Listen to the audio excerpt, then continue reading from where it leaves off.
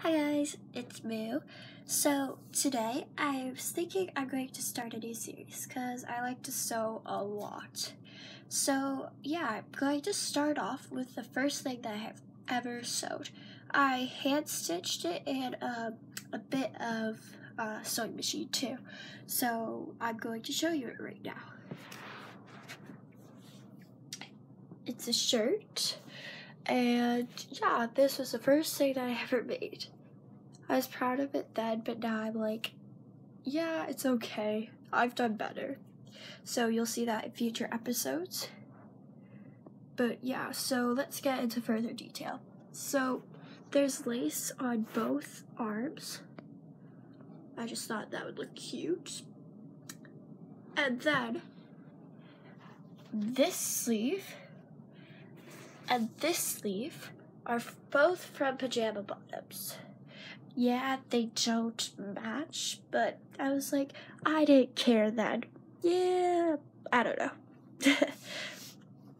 then I put an elastic at the bottom, right here, if you can see.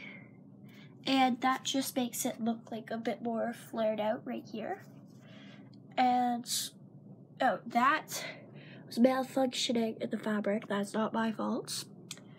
And oh, I did a neckline.